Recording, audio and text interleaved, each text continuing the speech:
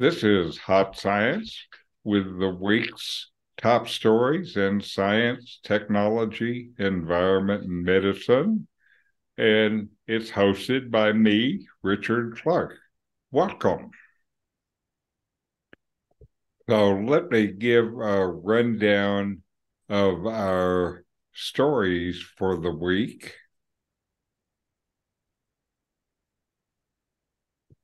Okay, here we are. Uh, the top story is an AI story, and it's beyond Chat GPT. 14 mind blowing AI tools everyone should be trying out now. In technology, there's a new design for a lithium air battery that could make much longer driving ranges compared with lithium ion batteries. It has four times the energy density of the lithium ion battery. And in the environment, CO2 emissions may be starting to plateau, says the Global Energy Watchdog. And in uh, astronomy, more big bangs could be coming up, the scientists say. And in genetics, science make us scientists make a stunning discovery, find new protein activity in telomeres. And the human story is the story you were talking about, Norman, a study of expats in a Ajijic. And Norman is joining us. And then the uh, medical story for the week is five key sleeping habits that can add years to your life. And these have been identified with scientists. So, hello there, Norman. And let me get on with this show. Now, uh, there is happening now this new breed of generative AI tools. And with these tools, AI has really become a technology that businesses and individuals can leverage to uh, significantly change the way they work and go about doing day to day activities. I've started to use a number of these tools myself. And when we use the term AI now, we're usually referring to a technology known as machine learning. And this is uh, computer routines that can become better and, and better at carrying out one specific task as they are exposed to more data. And machine learning powers a lot of uh, the internet tools that uh, we're using now uh, searching for information online with Google, shopping with Amazon, and watching movies on Netflix all have these machine learning systems that are giving us our recommendations. So let me go through quickly this list of applications and say a few words about them as we go. If you have questions, as we're going, go ahead and ask while I'm talking about the tool so we don't need to lay. The first one, of course, is Chat GPT, and this is this what they call the large language model. And with Chat GPT, you give it a text prompt or instructions, and it will generate uh, text and writing for you, and it can do things like give you outlines and summaries and write material from scratch. So it's uh, pretty interesting. Uh, not all of the things it writes are based on fact. They talk about uh, hallucination because it can write as fact stuff that uh, you'd have to say is not well sourced information. And it doesn't know, so it just treats it as fact. Then, also from the same company, is DALL-E 2, and this is uh, something that takes test prompts and generates uh, images from it. And related to DALL-E 2 is another program, Stable Diffusion 2. And so this is another text to image generator.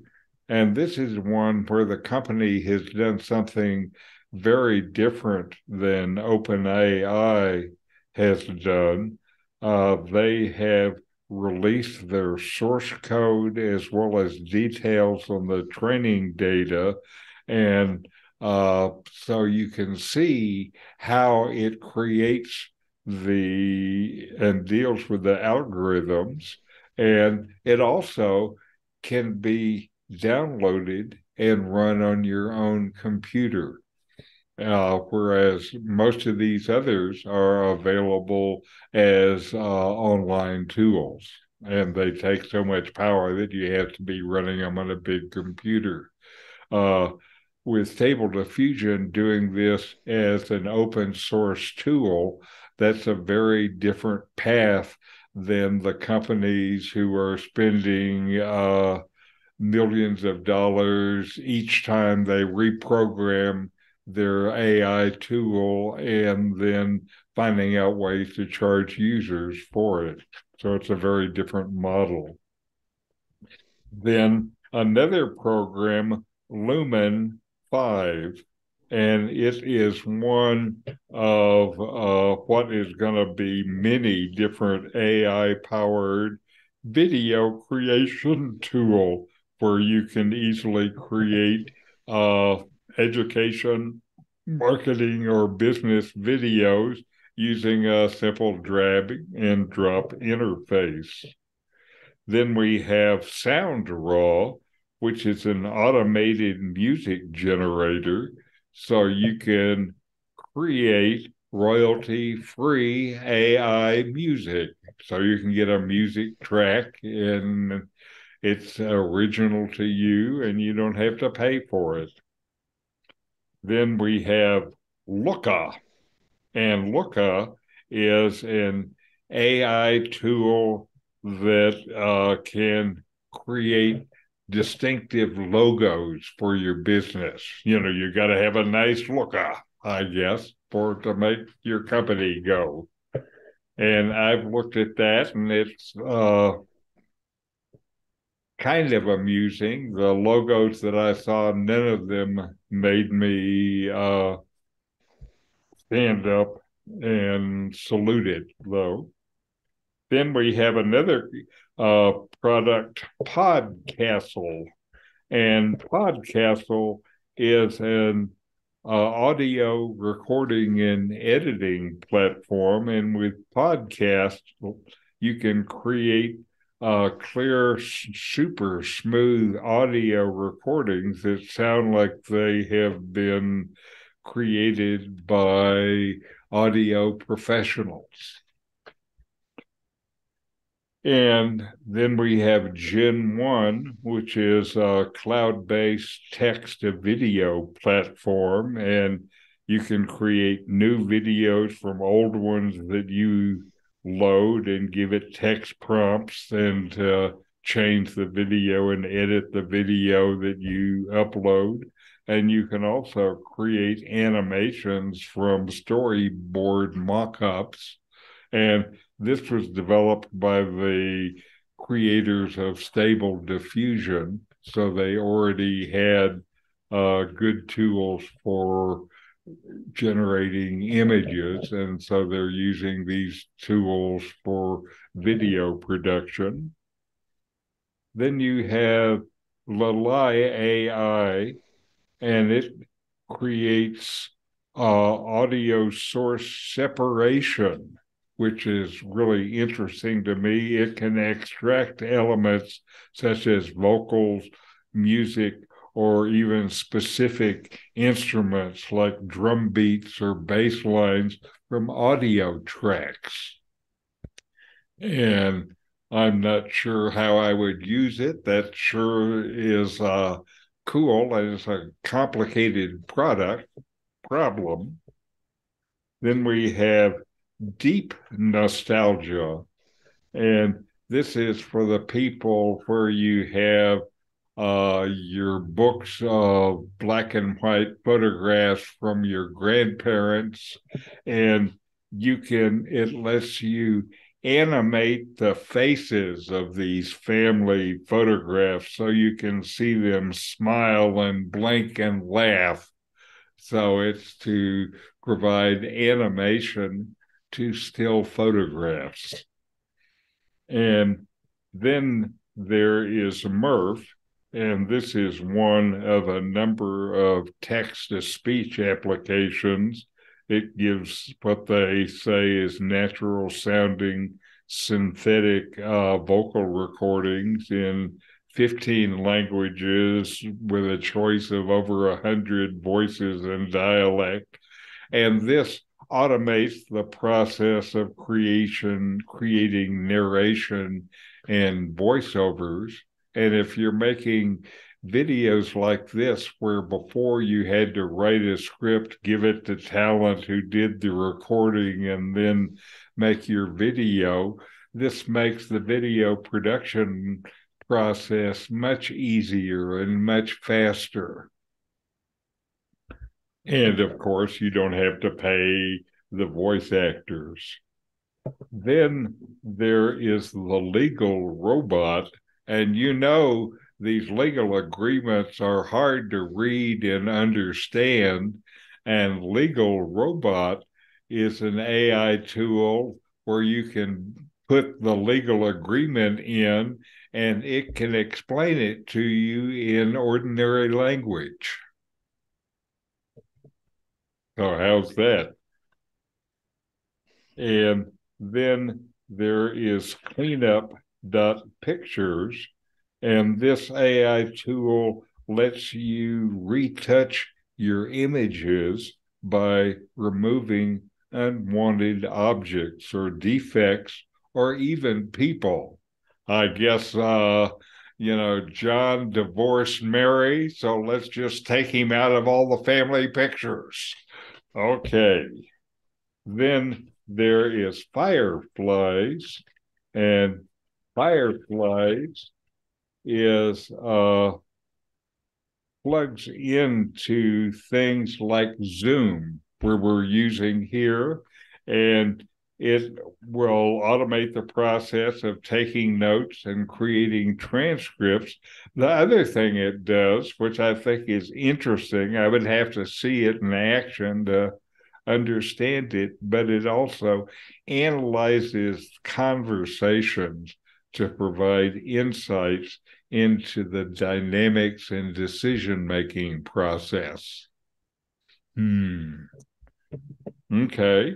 And then the last one is Krisp, which is another conference calling application.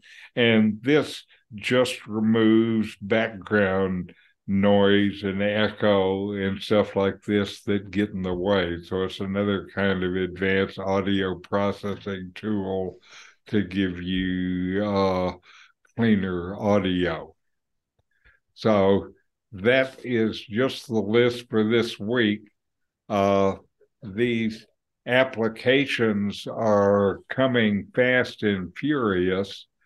So we will next week's list would be a different week. Any comment about any of this stuff? It sounds like that Forbes article is an excellent excellent guide to starting to to uh, use it. Yes, it is. is very and, good. And so far, I've tried some of the things. I've tried some of the video editing tools. Uh, so far, I can't find exactly what I need for me, and so I'm I do better with a human editing tool. Uh, what I've been looking for, though, is you know they talk about content uh, automation, video up automation, one of the things that I think I will be able to figure out how to do is to get a system where I can give it a video recording or even a still photograph of my face, and then it can create a, uh, a 3D avatar of me. And uh, then it can animate that avatar. So I could give it a script of like one of the meditation things that I do. And then it can just record that script. It could have me wearing whatever I want to wear. I could be in whatever background I want to be, of course. I could put a music track in it from one of these things if I want. And so for people who are creating content, it gives, uh, I can certainly imagine that it could give a way to create, uh, you know, high quality content pretty quickly, you know, just from your desktop. And, uh, you know, one of the things I'm doing now in with the spiritual stuff is I'm uh, doing a lot of work uh, creating and editing and posting video productions. I probably do uh, more than 10 a week. And uh, if I had some way to do that quicker and faster, then that would be interesting. And I know they're doing a lot of this stuff. You need it for companies' sales and marketing efforts. And, uh, you know, one of the things I did see going through is a video tool that basically lets you do a uh, custom video email message where everybody who gets it gets a message just customized for them. Mm-hmm. Well, and I you, I saw you... I saw a uh, piece on de aging actors. That they can uh, make the actors the GI, the AI sure. make the act look somewhat younger. Or older if you need an old one. You know, sometimes you need an oldie. Maybe this will take the wind out of the plastic surgery uh, industry. Nah, no, uh, there they at, still le- need... at least at least for social media, yes. That's right. That's right. But it doesn't help it when they you finally see your hero face to face and he doesn't look like anything you see. Well, the uh, I don't think any of them do now anyway. But uh, I noticed that that Chat GPT uh, will uh, put output in poetry. So, Richard, you could have your uh, Hotmail videos have you sounding like Muhammad Ali with that's right. Uh, that's coming right. back. As... Yes, I last week I used a uh, hot science poem that was written by Chat GPT. And was it any good? Well, uh, you'd have to ask somebody else. Oh, yeah. Well, the other thing that's probably going to happen is these things will be uh, as common as electronic calculators, and everyone will just have to know how to use them, just like right. we use a calculator. Right. And certainly, one of the things I noticed is uh, for me, it really changes my creative process, you know, because typically uh, what I have is there's something from some uh, book that I want to talk about more. And so I can tell the chat GPT to act like an expert on that subject. And then for example, uh, ask it to explain some phrase and it'll give a good explanation. And if I want more, I can tell it to expand it and, uh, you know, then work with the content that it's giving. And so for me, what this does is it gives me an easy way to get an initial draft where I have something that kind of deals with what I want to talk about for then for me to uh, go and rewrite and apply the special HuMIDS knowledge that only I have. And uh, it ends up where, you know, this is stuff I do every week, and I'm able to do it where uh, the production side of it is a lot less and it gives me more time to actually think about what I'm doing. So I hope that means it's better. No, that's great. And even just generating an outline. Uh-huh. Uh, tremendously useful. Right. And for example, you can uh, give it uh, through a uh, another tool that will extract uh, the transcripts out of YouTube videos. You can basically tell it, give me a summary of this YouTube video without ever watching the video.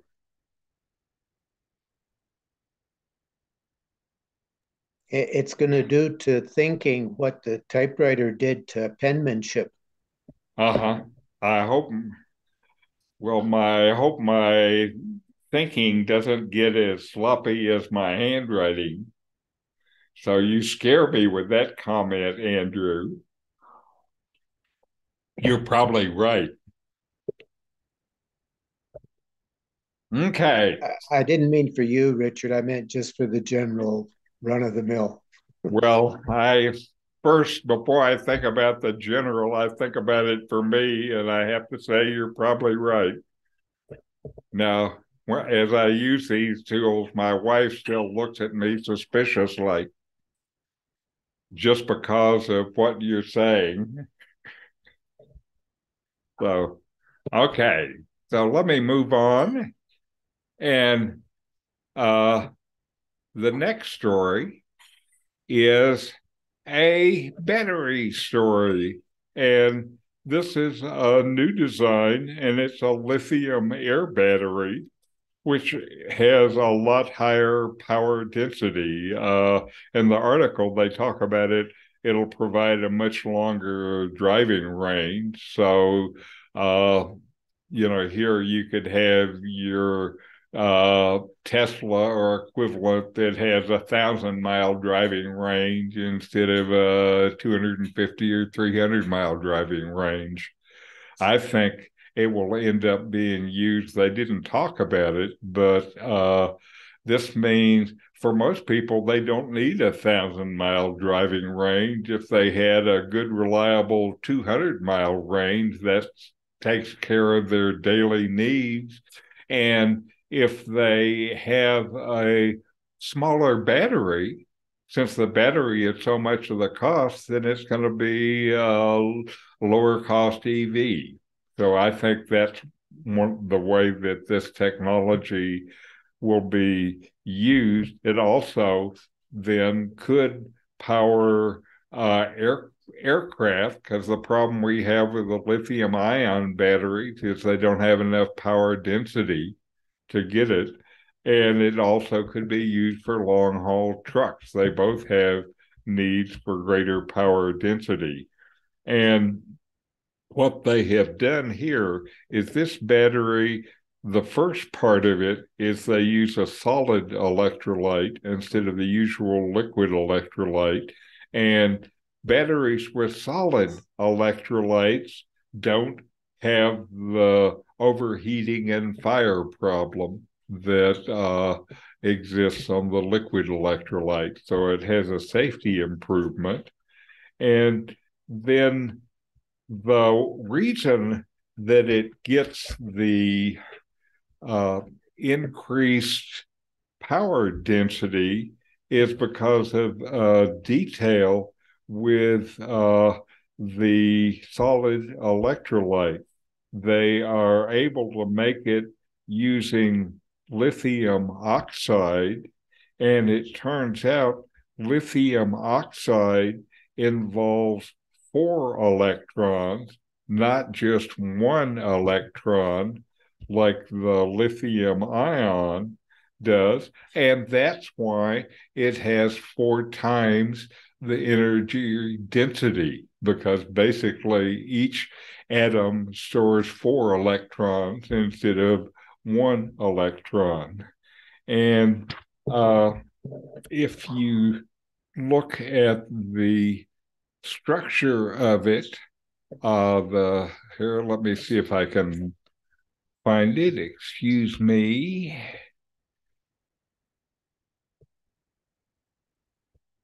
Here we, it's the structure of it is simple. You have a anode and a cathode uh, with the uh, lithium oxide sandwiched in between it. You don't need the additional layer uh, for the uh, negative stuff because it gets that directly from the oxygen from the air. Here. Let me see if if you compare this with uh, the lithium ion battery, you can see that it has fewer layers, so it's going to be uh, simpler to make. And the material that it uses is uh, for the electrolyte is a basically inexpensive ceramic material. So it's going to end up being inexpensive. And they've already operated it in a test environment for more than a thousand cycles and been able to demonstrate its stability over repeated charge discharge cycles. And uh, I think this is a technology that uh, will change what is possible out of the battery environments. Again, getting uh, what they will end up with is a system where they are able to get 1,200 watt hours per kilogram of battery. And so that is an enormous improvement. Comments on the batteries?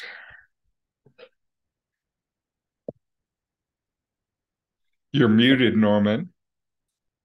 I thought the solid state batteries had an issue with uh, dimensional changes, but apparently this is not the case certainly I didn't see anything uh, within it. You mean changing when they uh, get hot or something? When they get charged, that they kind of inflate. Okay. Okay. But the uh, cathode production seems to be critical for lithium ion or lithium air. Yes. And that's what uh, Musk is more focused on is the uh, uh, cathode.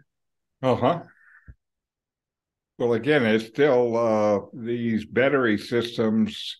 We still are exploring our way uh, through them, and you know the fact that they are basically going to be used on almost everything. Coming up means that there's a giant market for good solutions. So all the companies are pouring money into r&d in the area.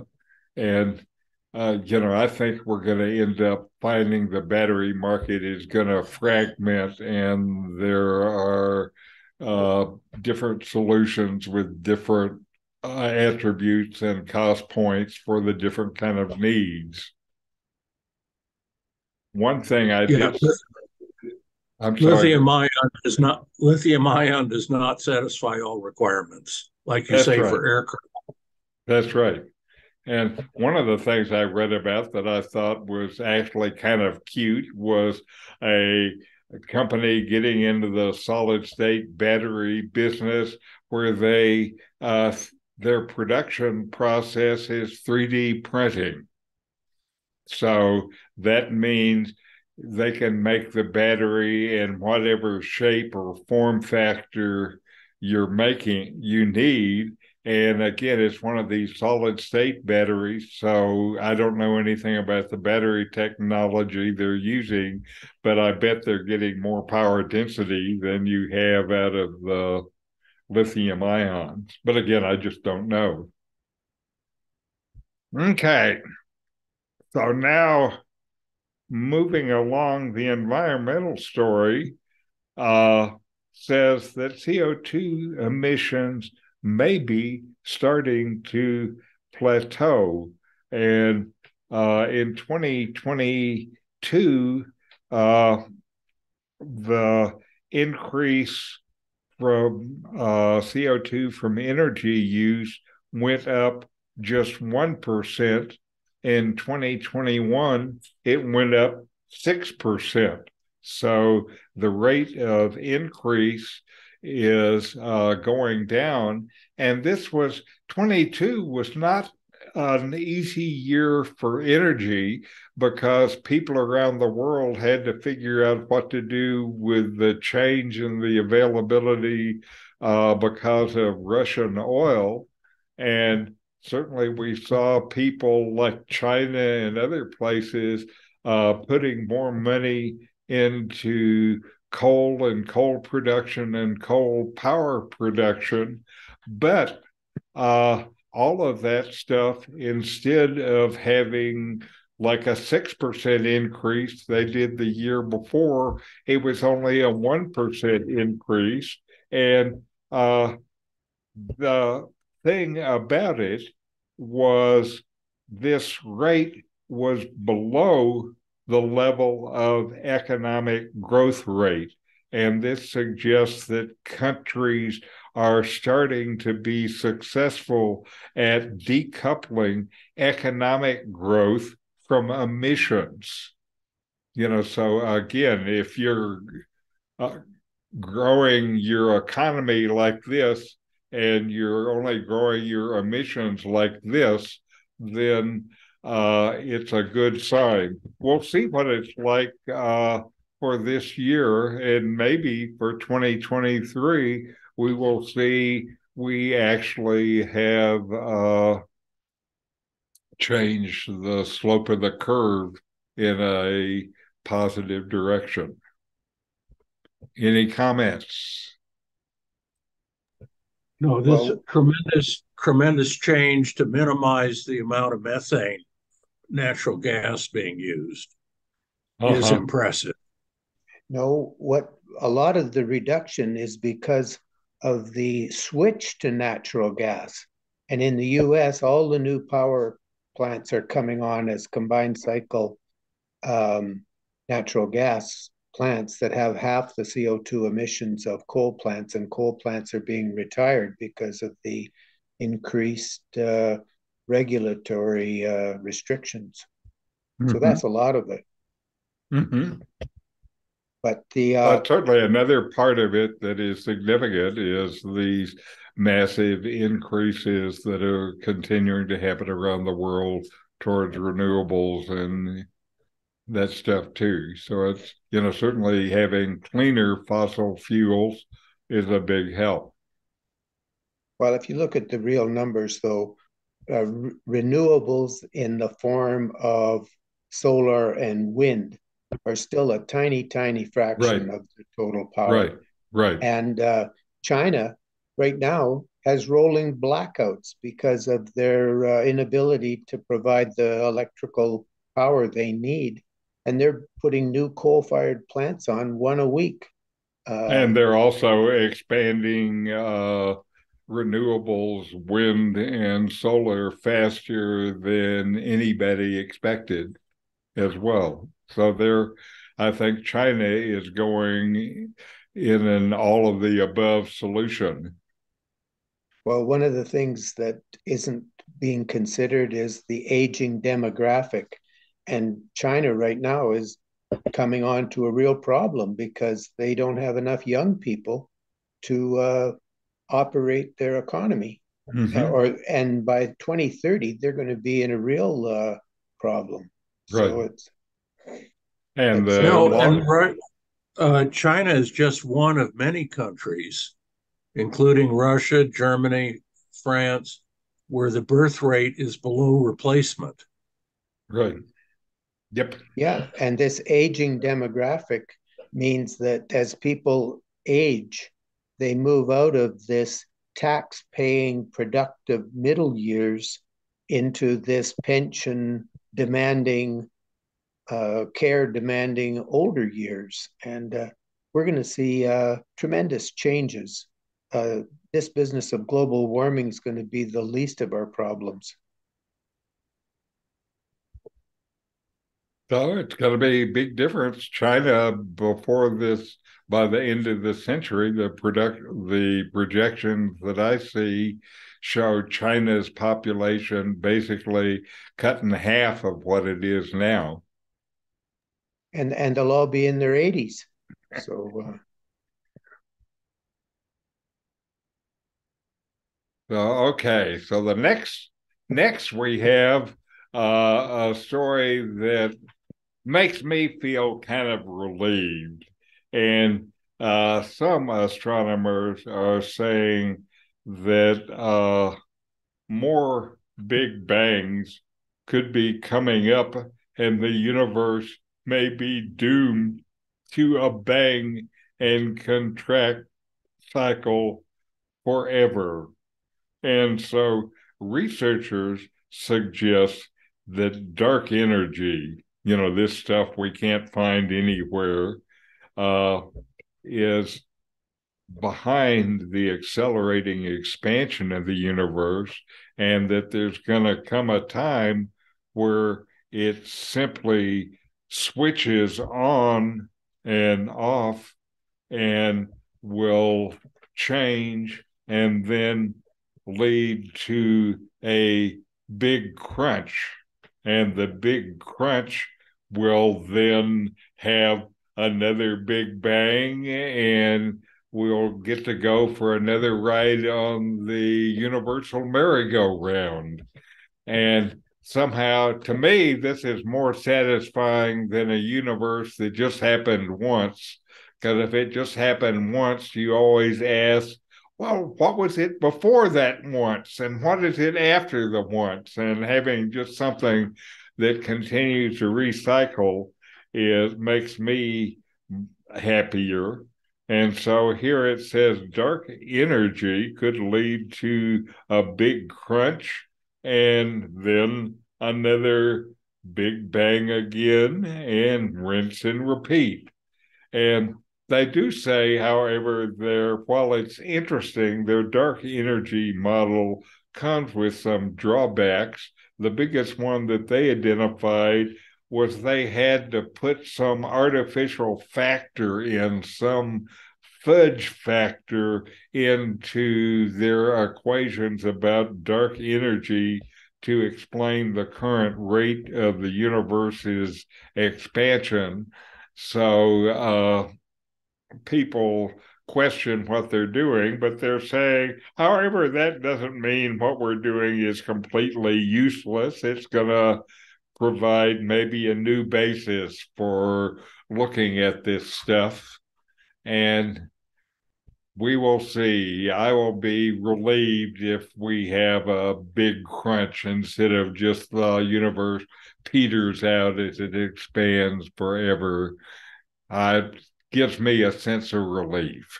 How about you guys? Well, the thing about uh, uh, astrophysics is these problems they have are that the mathematics they have don't explain some of the things they see. And it's not because uh, what they see is wrong, it's because mathematics are just a way of modeling right. uh, reality. Mathematics are not reality. So uh, we just need uh, different mathematics. And uh, there's infinitely more that we don't know than what we do know. So uh, we can all expect to see changes in the future. Well, that's right. It's those unknown unknowns that'll get you. Yeah. And mathematics are uh, are oversold as an explainer of everything. Um, mathematics don't explain everything. Well, it's just like you said, it's a way of making a model. Okay. And models, the thing about the models is, you know, you learned with maps. Maps are not the reality.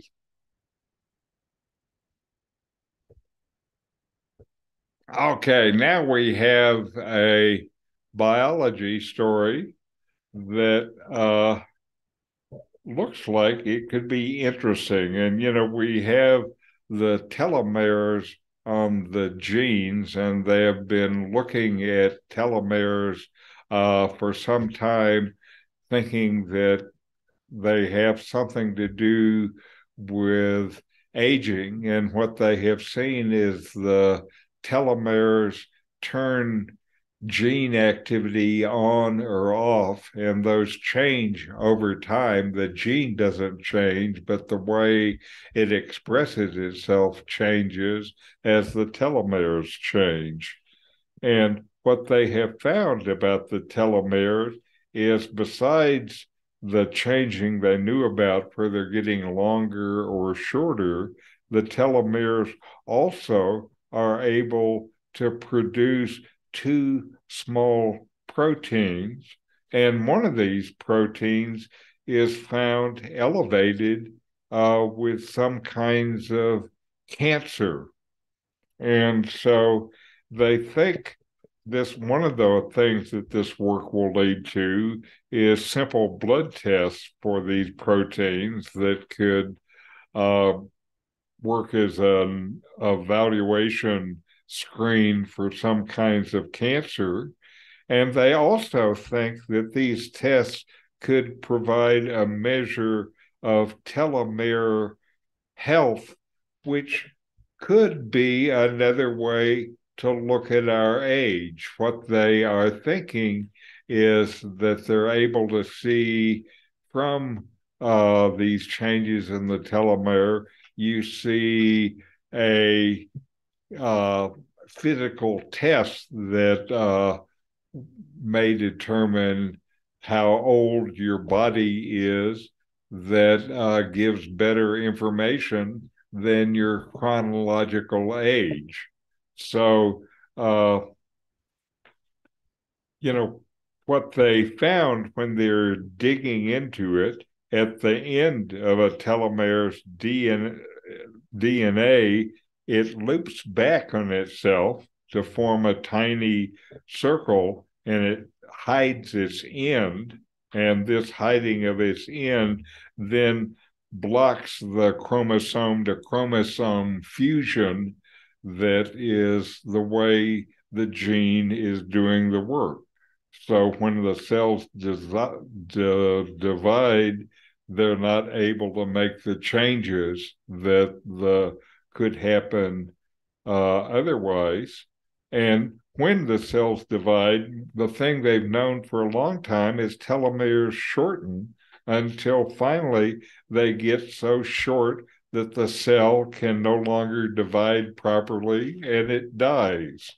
And so, anyway, what they hope to do through this, besides finding a new way uh, to test for some illnesses, is the money making product will be the genetic test that all of us can take to see how our genetic age is as opposed to our chronological age is. And if those tests are actually good, then being able to do this would maybe give them a tool where they could evaluate different kind of anti-aging strategies and have some way to see the results before all the participants in the study die.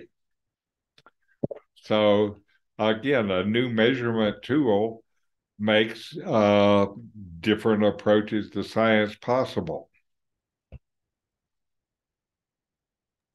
They should look at this in uh, naked mole rats and uh, bats and uh, birds that all live 10 times longer than mammals uh-huh. of similar weight and see uh-huh. what the telomere deal is in those uh, uh-huh. creatures. That's a good idea. I hope that uh, they can think of it there and they don't have to go visit you in Canada to ask the question. And if we're able to measure our uh, kind of physical age against our chronological age, we could have that many more birthdays as we uh, wind up our lives. That's right. Our get our crowd our 80 years into 50 years, like uh-huh. so many people who do.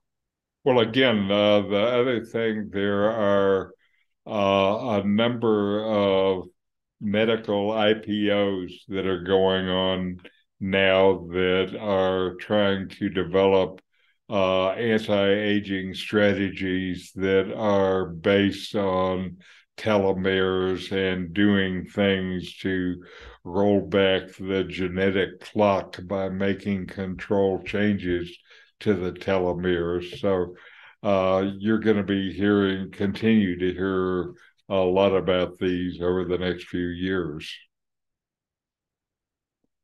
And so I think, again, with all the research being done, if somebody develops a good tool uh, that can measure this stuff, then uh, they will naturally start to use that tool as another way to evaluate their therapies.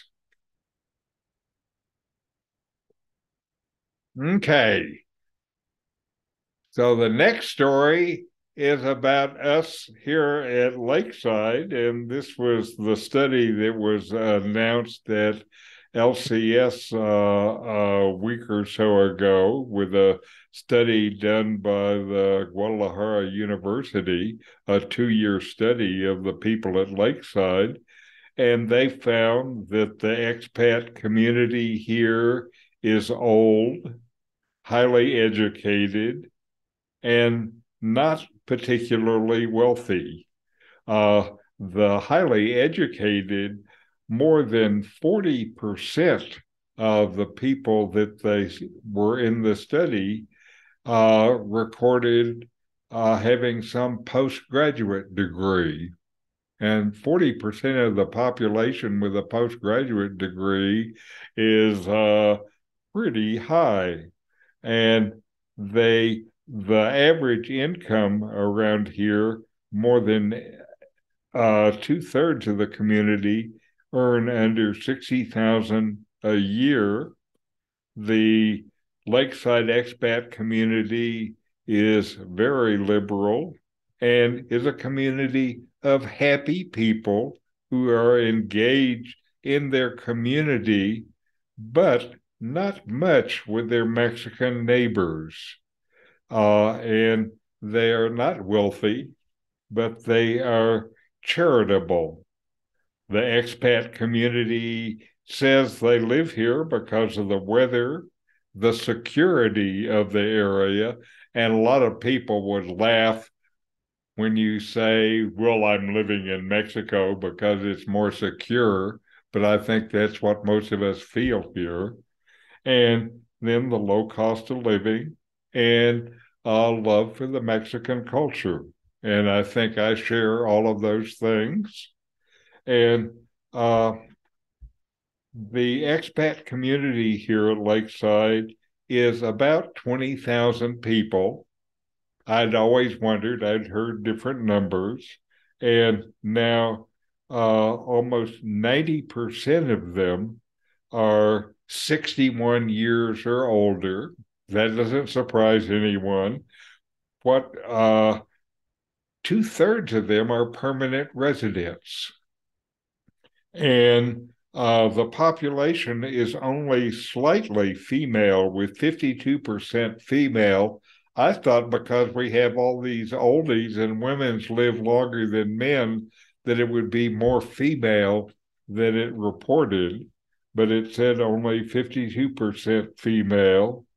And uh, two thirds say they don't attend church, and 62% said that they are either non religious or atheists.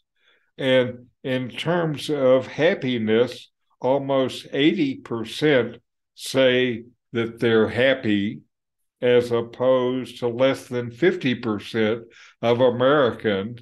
So we're a lot more happy than our, our gringo friends who stay living back home. So, comments on us happy lakeside folks. Well, it's interesting too that uh, 33% are single, either divorced or widowed. Uh-huh. And single, it says. And so that suggests that a lot of people come down there really not as couples, but as individuals. But, uh, you know, what I I see some of that, but I see a lot of the way that uh, people become single as they come down here married and uh, their partner dies. Okay. So the other that, thing is, this would be a significant uh, um, impact on the local economy because if there's 20,000 people with an average income of $30,000 each, that uh, it's quite a bit of yep. local spending, six hundred yep. million dollars a year. Right. In, and it has, has driven up uh, housing prices and prices at the store. And because of that, uh, there are areas here that used to be a lot more Mexican than they are now because as places come up for uh, rental or sales, they are uh, used to be Mexican and now they're gringo occupied. Well, when you go into the grocery stores, do you find that it's mostly gringos or is it uh, a mix of everybody shopping? It depends on uh, where you go. We live uh, in Chapala, which is more a Mexican town than Ajijic is. And so when we go into the stores here, uh, it's still largely Mexican, but still some gringos. And on the street where I live, probably half of the population are gringos. Do you have to speak Spanish when you go to the stores? Uh, I can survive mainly around here. You can survive pretty easily with limited limited Spanish, and that's one of the reasons why it's attractive to expats because you can survive without the other language. The fact that you can survive the, without the other language, though, uh, has an impact on one of the things they reported, which is uh, less than 20% of the people reported having uh, close relations with uh, local Mexicans. And if you can't speak the language, you're not going to have close relations. Yeah. Part of it, too, would be that I would think the expats, for the most part, are retirees, where the Mexicans, for the most part, are working and have jobs. Right. And if you want to have a, a Mexican friend, he'd have to be another retiree. And you don't know, I suppose you don't run into those well, a lot of the sources of Mexican friends are uh, the people Workers. that many of us have working in our house, that yeah. we get to know them over time and they become people who are more than workers. They're people that we know and they're people who uh, become friends. The same thing uh, we found happened in India. Well, do you ever miss parts of India that you would uh, want to go back to India? Uh, I enjoyed it there. Uh, I don't think about going back because it's financially impossible. So it doesn't matter whether I'd like to go back or not. Um, the other thing that would be interesting would be the local food and uh, having the Mexican cuisine and Mexican restaurants and all well, that. Sort of that would be interesting if there are any Mexican places to eat around here. What do you think, Norman? You know what most uh, people think of as Mexican food is Tex-Mex food, and that almost doesn't exist here. Oh yeah, or or Sonoran uh, Mexican food, which is more common in the west coast of the U.S. But if you look at Ajijic after ten o'clock at night, you see lots of taco stands and so forth. Uh, there's right. a lot of Mexican food it's just most of us don't go to the cenadurías, and most of us don't uh, dine on tacos after after nine or ten o'clock. Right. Uh, what he's saying, a lot of the Mexican food is street food, mm-hmm. and uh, you know the you can tell the Mexicans are real comfortable eating in that situation. And the other thing about street food is it's cheaper because you don't have to pay the overhead of uh, the fancy establishment or the big tips. And also, the other thing from street food is again, this is the culture is largely a culture of families. And uh, the street food, every uh, purveyor is a different family and uh, the food basically is the food that their grandma used to make and uh, is flavored the way grandma would do it. And you know so it's also i think a part of this kind of family culture that just pervades is pervasive around here. Well you better make it sound not too attractive, or everyone who sees your videos is going to be moving down. And uh... that's right. It's terrible. We can't stand it. We're all just waiting to get out. I I had a friend who wrote newspaper articles, sending the articles to hometown newspapers of of expats who had moved here, and finally he decided that was a terrible thing to be doing. Uh huh making it be attractive here? Well, uh, the fellow who wrote the article, this Heffernan fellow, is he somebody who lives in your community, or is he an know. outsider? Oh, of course, if there's twenty thousand of them, you're not going to know everyone. No. Anyway, so moving on, and uh, the one thing I'll say about that particular article is the place that it was published didn't let you either print the article or uh, copy the article.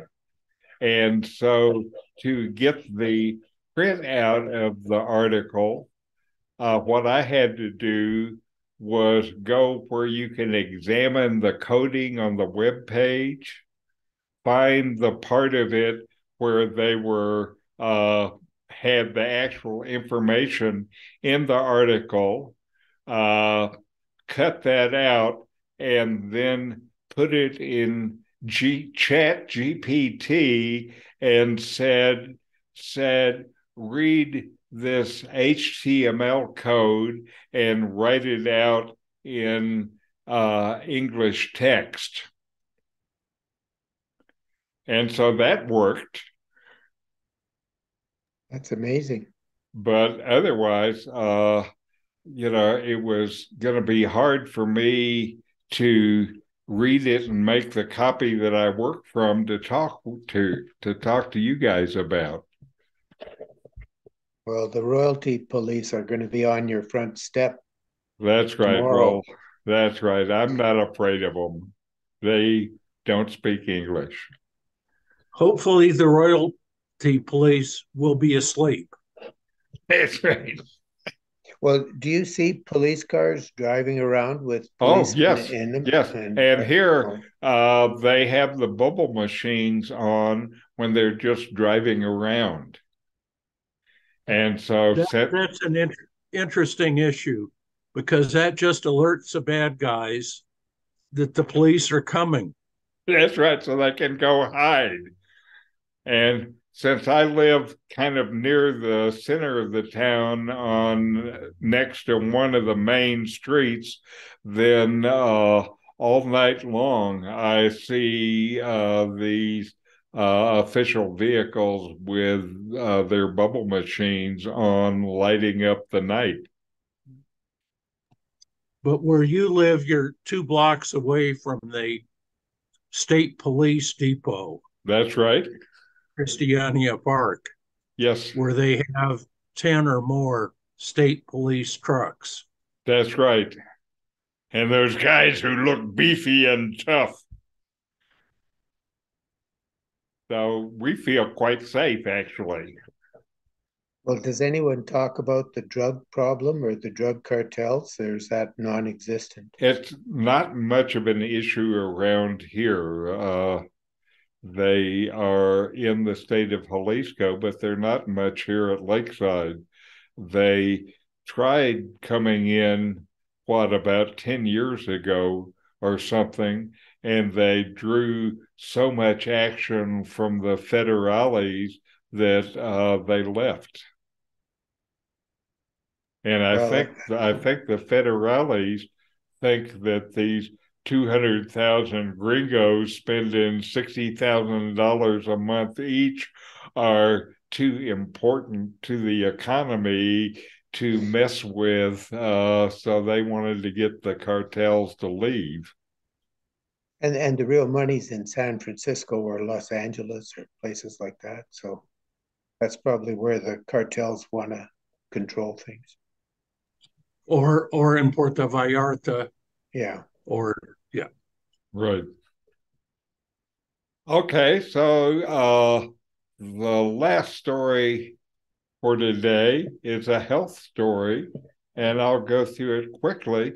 These are five sleeping habits that can add years to your life that have been clearly identified with uh, by the scientists. And what the scientists found uh, is if uh, for people who have all five of these sleep qualities, then for men, their life expectancy was almost five years greater.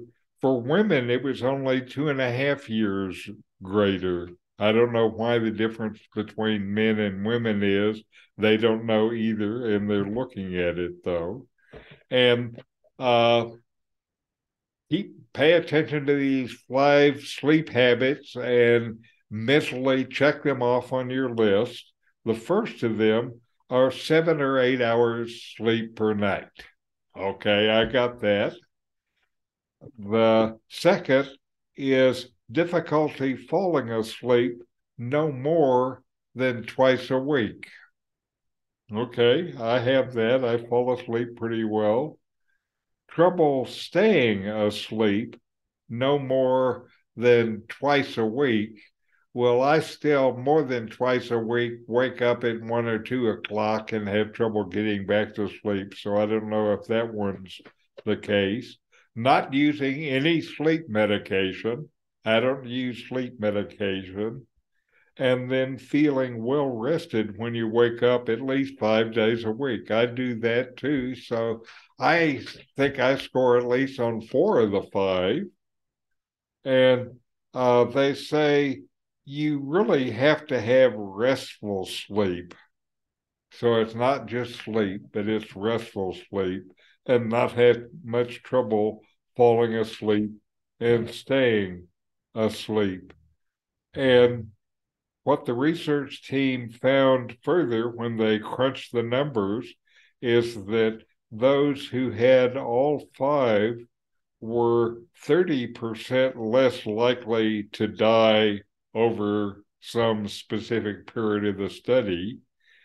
21% less likely to die from cardiovascular disease and 40% less likely to die from causes other than heart disease or cancer. So uh, there's a real positive connection to uh, sleep well means that you live well. So, how's your guys' sleep anyway?